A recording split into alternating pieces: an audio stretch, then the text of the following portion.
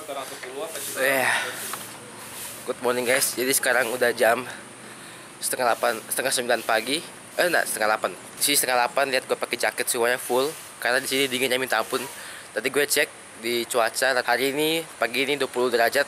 Jadi dingin banget ya. Kalau kalian pengen lihat gimana suasana pagi hari gunung-gunungnya, lihat ya. Tuh. Kalau kalian lihat sana, tuh kabutnya minta ampun tuh. Oh my god.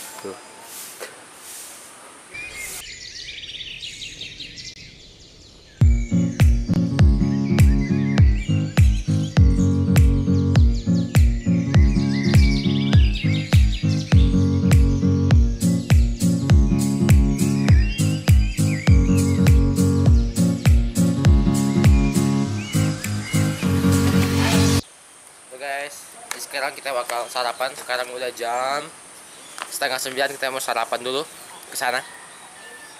Ke yang sini tuh. Sarapan dulu yuk. Let's go. Habis itu kita bakal jajan mungkin ke kolam air panas ataupun ke mana nanti kita lihat ya. Nanti kita bakal ngevlog terus. Makan.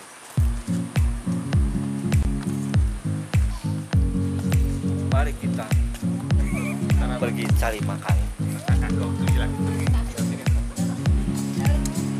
Ini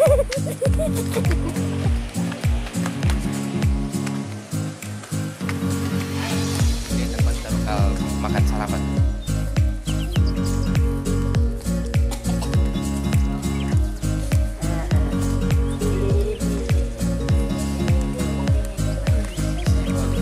Nah.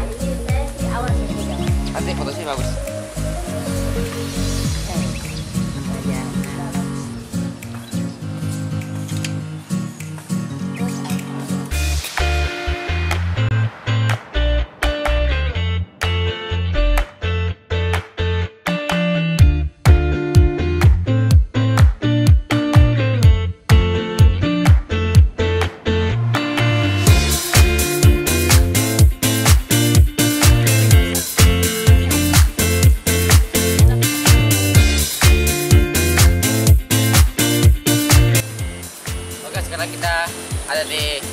Malibay Hot and Spring Resort tapi ini di tempat yang pariwisatanya. Kalau yang tadi kita cuma di tempat buat penginapannya tapi kalau yang ini kita di pariwisata jadi kita bisa lihat ada lihat tadi banyak pohon-pohon di tengah-tengah hutan. Terus banyak juga tempat-tempat makan tadi sana. Dan juga kita sekarang lagi menuju ke tempat-tempat permainan jadi ada bungee jumping sana ada panah-panahan. Sekarang kita lagi mau ke bawah mau lihat di bawah ada apa aja oke? Yuk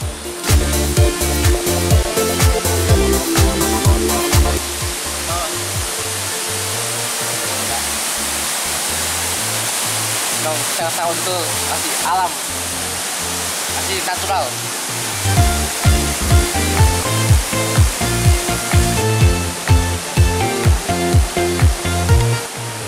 Ah bagus sama tempat tempat foto bakal ya sekarang kita masih bakal turun terus. Nanti karena ini kan gunung ya jadi kita bakal turun terus. Lihat nanti makin ke bawah makin menarik makin banyak punya tempat-tempat permainannya oke karena kita mau pergi ke tempat eh, kolam kolam air, air panas ya ke bawah terus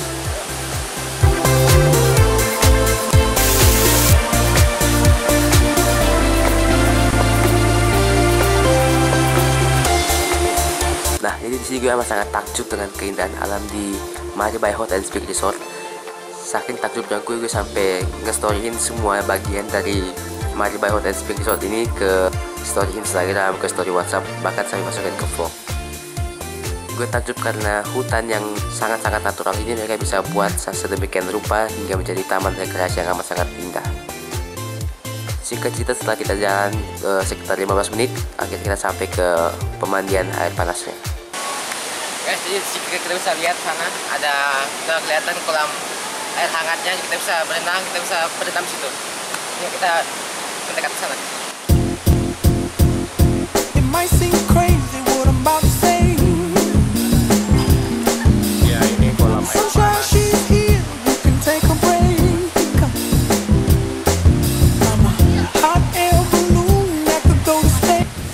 Lagi berenang. Ini airnya air belerang dari pegunungan asli, makanya airnya hangat. Ya, kita lagi berenang. Jangan kasih kasih nanti rusak. Jangan, jangan. Kasih. Terus.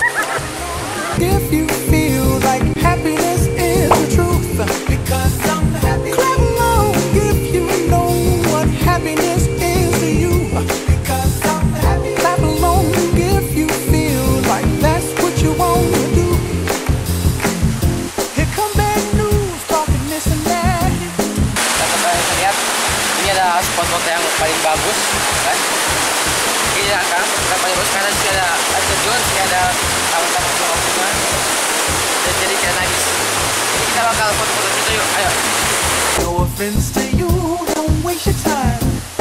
Here's why. Because I'm happy. Clap along if you feel like a room without a roof. Because I'm happy. Clap along if you feel. guys tadi kita habis foto, foto situ lihat tuh habis foto di sana kita akan pindah ke yang bagian bawah sana jadi backgroundnya lebih dekat dengan air terjun. Yuk coba mau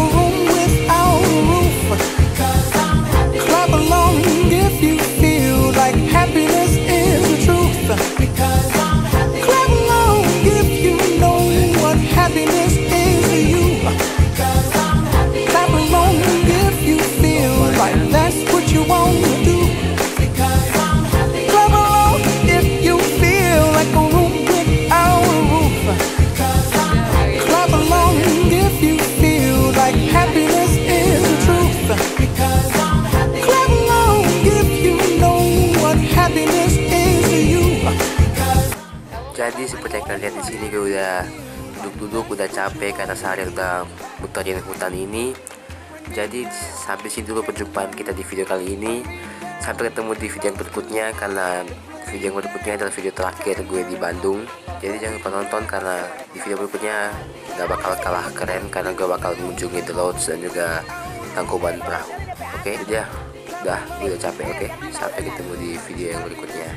Bye bye.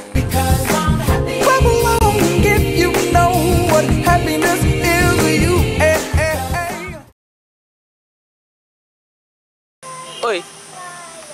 Hai. Halo. Eh monyet. Sombong banget sih lu.